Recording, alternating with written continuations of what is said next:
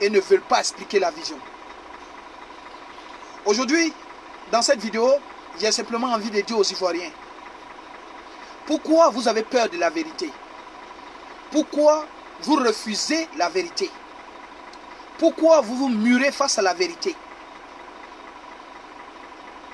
Tous les combats qui ont été gagnés dans le monde, tous les combats de libération ont été des combats difficiles. Mais dans leurs difficultés, les gens ont toujours fait l'effort, en tout cas d'être objectifs. Les gens ont toujours fait l'effort d'être intransigeants sur la vérité. Alors, je vais aborder deux, trois problèmes vite fait. Là, il me reste 30 minutes pour commencer le boulot. Mais vous me faites trop rire en fait.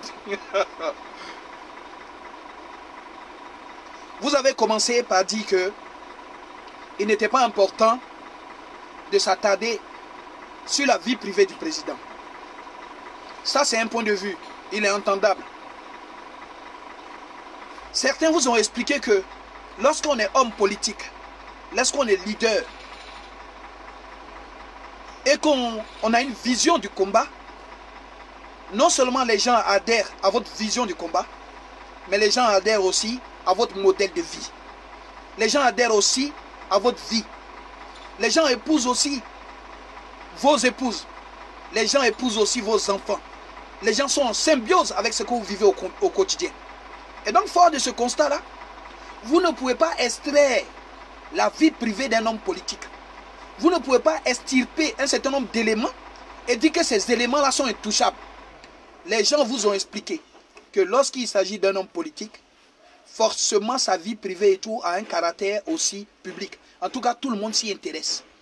Que ce soit fâché ou pas, c'est la réalité. J'entends les gens dire aujourd'hui, ça c'est une vidéo vraiment réponse et tout, aux petits petits commentaires et tout, pour qu'on soit d'accord. Pour que, en tout cas, tout le monde puisse savoir ce que moi je pense. Il y a des gens qui vont nous dire, restons concentrés sur l'essentiel. Mais avant de dire de rester concentrés sur l'essentiel, il faudrait définir l'essentiel. Vous comprenez? C'est le même problème qu'on a eu à la Dream Team. Lorsqu'on décide de se mettre ensemble pour mener un combat, il faudrait en définir les contours. Et aujourd'hui, plus que jamais, les contours du combat que vous voulez mener en Côte d'Ivoire, les contours ne sont pas dessinés, les orientations ne sont pas données et les choses ne sont pas balisées. C'est pour ça que vous voyez tout le monde aller dans tous les sens. Il y a des gens qui disent que le président Laurent Gbagbo, aujourd'hui, se bat, est sorti de prison, et que le président Laurent Gbagbo et tout profite de sa liberté. Mais j'ai envie de dire hein, de façon plus cruelle, hein, ok. Quand vous parlez, vous pensez que les gens sont obligés d'écouter ce que vous dites ou bien vous pensez que vous avez la science infuse. Ok. Le président Laurent Gbagbo profite de sa liberté. D'accord. Je crois qu'initialement, c'est un combat pour la liberté totale de la Côte d'Ivoire qu'on avait commencé à mener. Hein. Je ne savais pas que c'était un combat dans lequel, in fine, donc au final, c'est le président Laurent Gbagbo seulement qui allait avoir une liberté. Je ne savais pas. Je vais me déplacer parce que le camion va faire beaucoup de bruit. Aujourd'hui, là, on va se parler.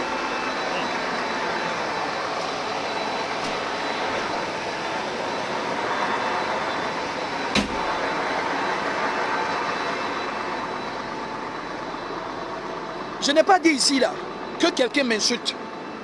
Je n'ai pas dit ici, là, que quelqu'un m'aime.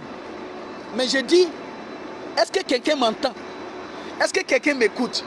Les frères, je redis ici là simplement. Je dis, le combat que nous avons commencé à mener là, c'était le combat pour la liberté totale de la Côte d'Ivoire ou bien c'était le combat pour la liberté partielle d'un monsieur, fût-il et tout notre mentor. Est-ce que le combat que nous avons commencé à mener là, Souvent, vous parlez de vision, vision, vision. Il faut suivre la vision.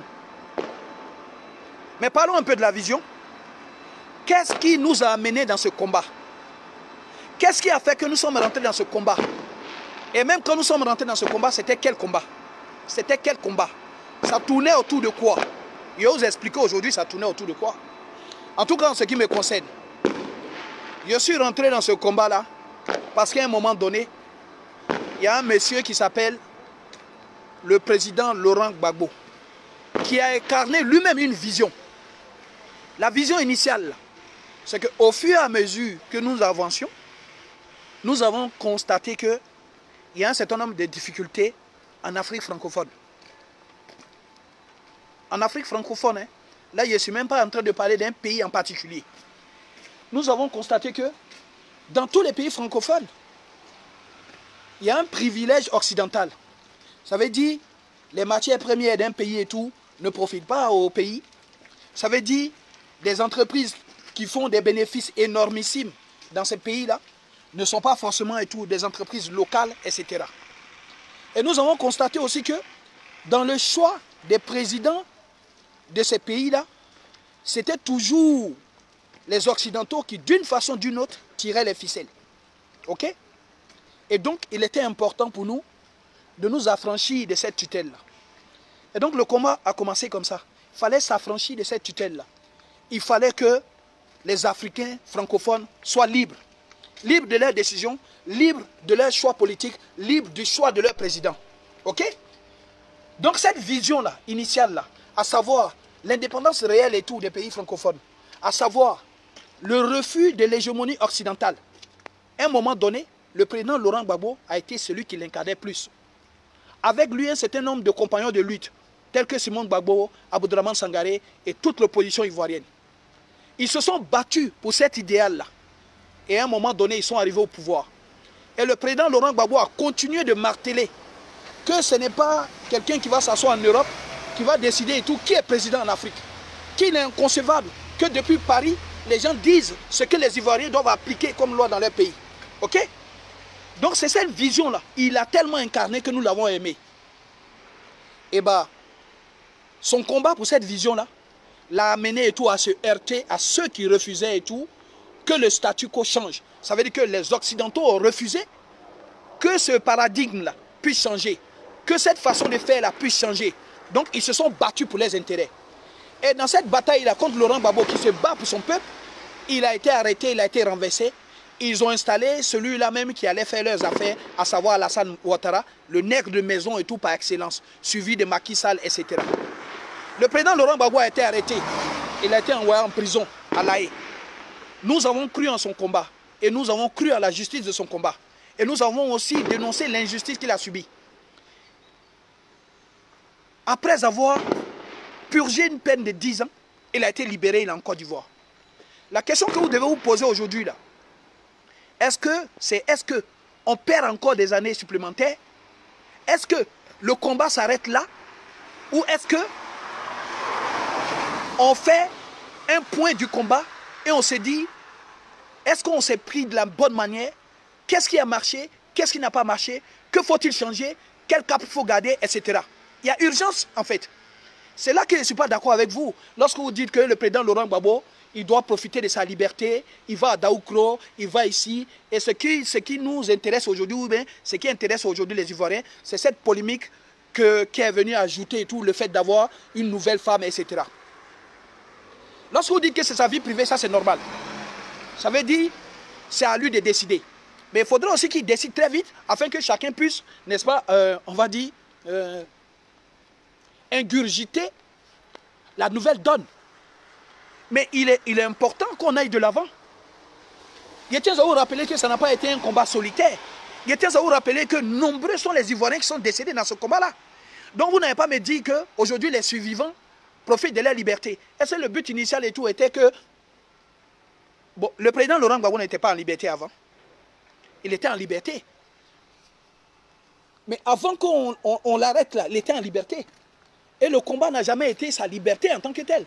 Le combat a été le changement du système qu'on nous impose. Vous êtes là, vous dites le combat a été gagné. Le combat a été gagné. Quel combat est gagné? Si le combat est gagné et que nous avons battu et tout la CPI, et que nous avons démontré que la CPI est une coup à charge, est-ce qu'aujourd'hui la CPI n'existe pas? La CPI existe. Lorsque tu gagnes un combat, les résultats qui en découlent font changer aussi un certain nombre de choses, font changer un certain nombre de donnes. Mais si tu prétends gagner un combat et que la donne n'a pas changé, et que les choses sont statiques, et que les choses sont identiques, et que les choses n'ont pas foncièrement changé, de quelle victoire vous parlez en fait? De quelle victoire? La victoire aurait été une victoire si, lorsque nous avons démontré que la CPI n'avait pas de preuves en tant que telle contre le président Laurent Gbagbo, la victoire aurait été victoire si, au moment où on libère le président Laurent Gbagbo et tout, qu'il a acquitté, la CPI est fermée. La victoire aurait été victoire si on ne devrait plus entendre parler de la CPI. Mais la CPI est vivante. La CPI existe.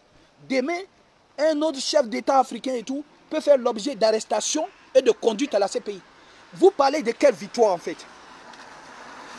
Vous parlez de quelle victoire? Voilà, voilà moi mon problème en fait. De quelle victoire parle-t-on? Et vous êtes là, oui, tout est spirituel, oui, chaque chose a son étape. Pourquoi vous pensez qu'on doit perdre 50 ans et tout dans ce combat de merde? Pourquoi? Pourquoi on ne voit pas l'urgence de la chose? Pourquoi on ne voit pas qu'il est important et tout qu'on aille très vite et qu'on n'a pas le temps et tout de se promener à Daoko, etc. Pourquoi? Franchement, avec du recul, je comprends que un certain nombre de problèmes et tout en Afrique dû parce que nous ne sommes pas exigeants envers nous-mêmes.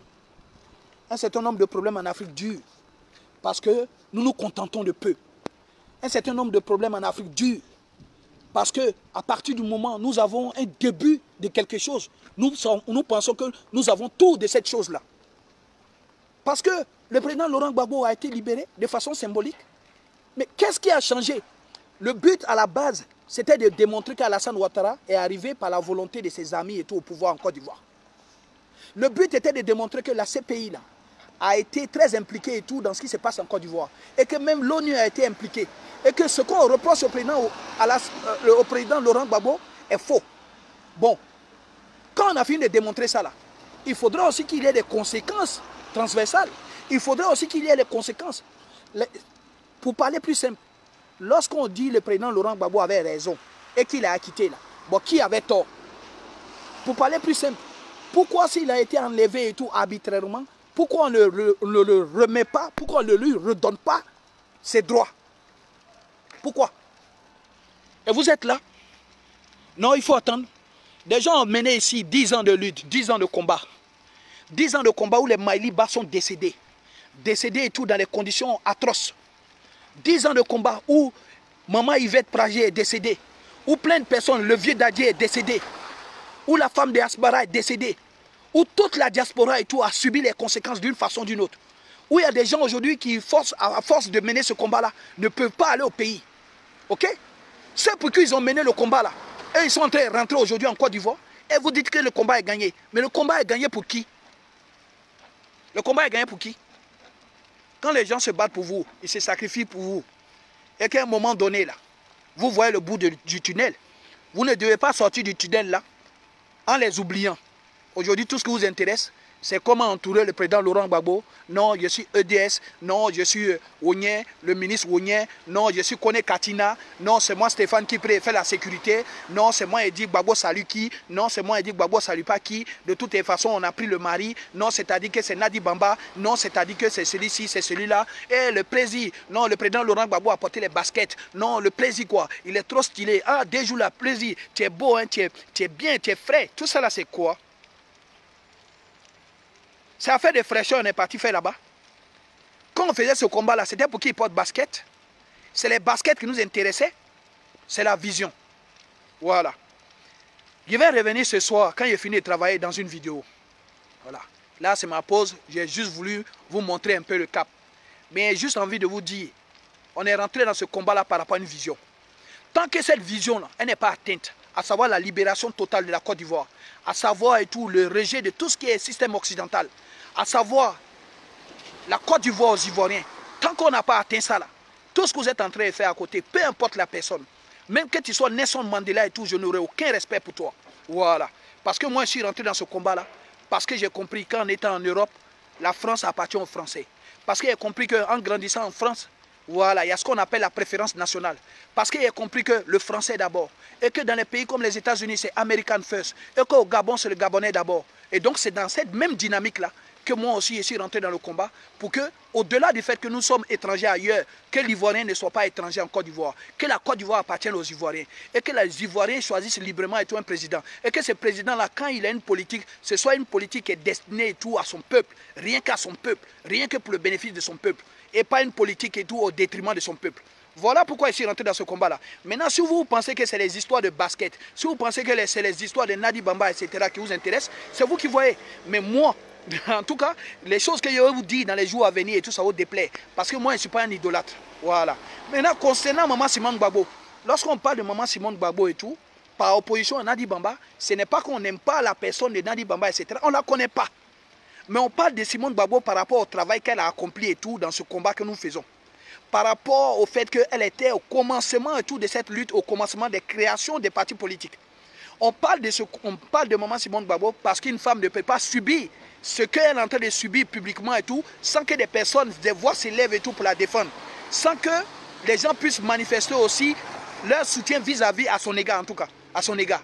Donc voilà, on parle de justice. Lorsque vous êtes dans un combat pour la justice, il faut être juste. C'est de ça que nous parlons.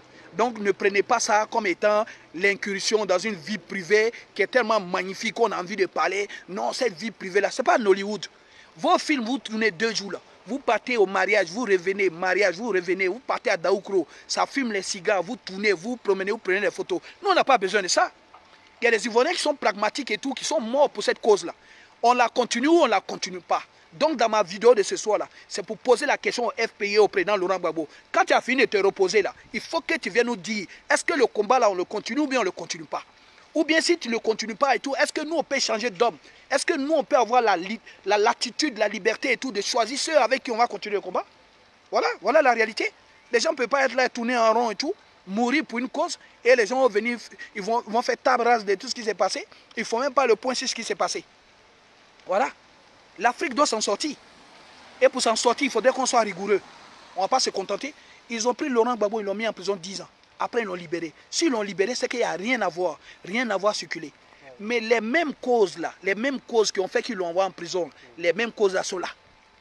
Ils ont pris un ami à eux qui s'appelle Alassane Ouattara, ils l'ont mis en Côte d'Ivoire. Vous vous levez le matin, vous êtes le premier pays producteur au monde de cola. Vous ne pouvez pas payer cola. Premier pays producteur au monde de cacao. Les enfants ne peuvent pas manger un plaquet de chocolat. Troisième pays producteur au monde de café. Vous ne pouvez pas boire un café. On dit à partir de quel moment les gens ne vont plus fixer tout le prix de vos matières premières à Londres? Voilà les questions, voilà les questions vitales. Quand on parle de ça, vous êtes là, vous menacez les gens. Oui, viens ici, on va te mettre en prison, etc. Nous, en France ici, nous, on vit bien. Hein. Nous, on travaille, on casse cailloux, on gagne nos pains, on mange, on boit yaourt, on boit. Mais on est généreux, on pense à vous, on pense à l'Afrique. On regarde les gens, comment ils ont développé leur pays avec des idées. Et à partir de là et tout, on dit qu'est-ce que nous, on peut apporter à nos pays d'origine? OK? On est unanime dessus. Voilà mon frère qui est à côté de moi, c'est un Malien. Voilà c'est mon collègue. Il vous salue. On est là, c'est le même combat. Il faut que l'Afrique s'en sorte. Bah c'est pas genre, vous découvrez aujourd'hui le, pétrole au Mali, on vous fait la guerre pour exploiter vos pétrole. Vous découvrez l'or, on vous fait la guerre pour, pour exploiter votre, or. Mais à un moment donné, là, quelle est la part de la population? À un moment donné, qu'est-ce qui revient à la population? C'est de ça qu'on parle. Donc si à un moment donné, là, les leaders, les présidents Laurent Gbagbo, ils ont été mis en prison, ça les a affaiblis, qu'ils sont fatigués, c'est pas grave.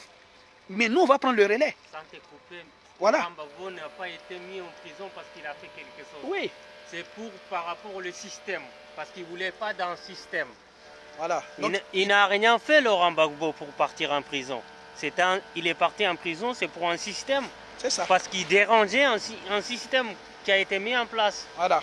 Donc il dit, le président Laurent Gbagbo dérangeait un système qui a été mis en place. Par rapport à ça, ils l'ont arrêté pour que le système puisse continuer et tout à évoluer. La question qu'on se pose aujourd'hui, c'est que est-ce que même après sa libération, le système-là n'existe pas? Est-ce qu'après sa libération, le système-là n'est pas toujours en train d'évoluer? Donc comment on fait pour mettre fin à ce système-là Vous nous parlez de deuxième femme, vous nous parlez de troisième femme, vous nous parlez de... On s'en fout de ça. Aujourd'hui, nous, on veut juste, la jeunesse africaine francophone veut juste et tout sa liberté. Veut juste et tout que tous les pays francophones soient libres. Vous voyez les petits comme Kémy Seba, les, les Ousmane Sanko et tout au Sénégal. Des gens qui disent non aujourd'hui et tout à cette façon, façon abusive et tout d'exploiter l'Afrique. C'est ça la réalité. Donc si ce combat-là, à un moment donné, ceux qui pensent qu'ils sont fatigués de le faire, qu'ils nous laissent faire. Voilà. Donc moi, mes questions ce soir et tout, ce seront des questions au président Laurent Gbagbo. Jusqu'à quand et tout, il veut prendre son année sabbatique et tout, ou bien est-ce qu'à un moment donné, des gens qui ont marché avec lui ont aussi la possibilité et tout de prendre leur envol? Est-ce qu'on peut prendre notre envol sans que vous criez et tout la traîtrise? Parce que vous, c'est votre travail. Dès qu'on n'est pas d'accord avec vous, ou bien dès qu'on va avancer, vous dites ouais, on, on veut sauter votre corps et tout pour partir. Donc c'était mon petit message d'aujourd'hui. Il reprend le travail tout à l'heure. Soyez salués depuis l'Afrique, soyez salués depuis toutes les contrées africaines. Mais sachez que la liberté a un prix. La liberté est, difficile à obtenir, mais on ne doit pas tendre la main pour qu'on nous donne la liberté. La liberté s'arrache, et ça s'arrache par rapport à ta détermination, par rapport à ton intégrité, par rapport à ton honnêteté, par rapport à ta détermination, ta dignité. Tous les Africains ne peuvent pas passer leur temps et tout à tendre la main. Toujours, quand un Africain digne meurt en Afrique et tout, c'est parce que son frère l'a vendu. Donc, c'est des choses qu'il faut qu'on arrête. C'est des choses qu'il faut qu'on arrête. Donc, ce soir, je vous donne rendez-vous, voilà, à partir de 21h pour une vidéo très très fracassante. Comme vous voulez discuter, euh, voilà, je vais aborder la question de Adama Bitogo qui dit merci et tout à Simone Bagbo et tout, qui, qui vous hérisse les, les poils, voilà. Vous êtes là, vous faites les choses à géométrie variable. Aujourd'hui, telle est traite, demain, telle est traite, vous trouvez toujours les traites. Mais lorsque vous êtes en train de marcher comme ça et tout, que vous nous perdez le temps, et que pendant que vous nous perdez le temps, les Occidentaux prospèrent dans nos pays africains, ça, ce n'est pas de la traîtrise. Soyez salués depuis vos positions. Ciao, ciao.